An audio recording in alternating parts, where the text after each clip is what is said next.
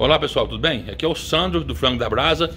E aí tinha mais aquelas duas churrasqueiras ali que, que, que a gente ia limpar. E aí meu pai pegou e deu um organizado lá. Ele vai explicar como que ele fez para poder tirar Porque ela tá muito enferrujada, muito mais que aquela outra Que eu mandei pro Lava Jato Aí ele vai explicar como que ele fez ali E a gente vai passar o neutralizador também de ferrugem nela Para poder é, é, depois dar uma organizada nela. Falou?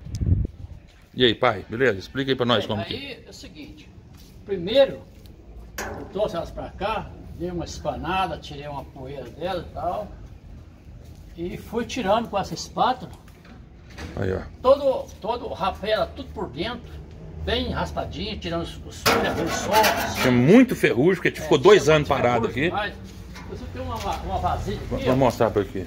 aqui ó, tá quase cheia, só de ferrugem que eu tirei ali, ó. Olha aí, ó. Tanto de ferrugem que tinha dentro dela. Porque tinha dois anos que ela tava parada já, essas churrasqueiras. eu tirei tudo, limpei tudo.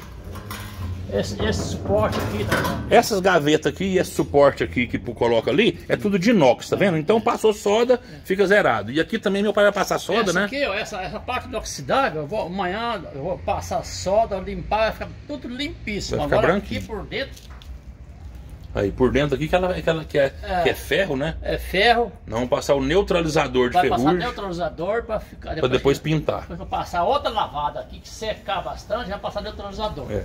Não vamos passar o neutralizador, depois nós vamos pegar e vamos dar outra lavada nela e vamos pôr fogo também. É, o fogo também é muito importante para poder. é, porque tem muito tempo que ela não, não acende ela. Ela tá não perfeitinha.